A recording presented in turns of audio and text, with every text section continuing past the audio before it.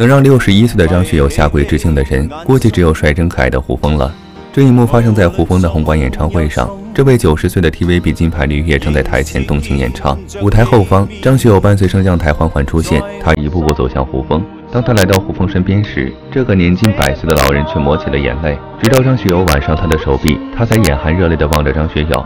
直到工作人员上来给胡峰递纸，他才擦了擦眼泪。擦完之后，又一眼不眨地看着张学友。曲至末尾，胡峰才颤抖着声音与张学友合唱。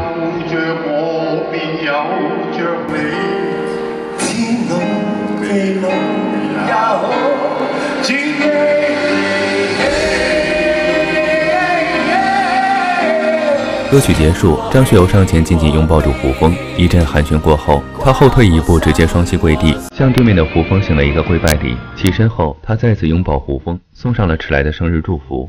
祝你身体健康啊！寿比南山。看着胡枫还在用纸巾擦泪，张学友赶紧夸赞他的实力，还不忘自叹不如。实在太厉害！如果我有一日九十岁，可以企喺度唱，我嘅心满意足啊！真系。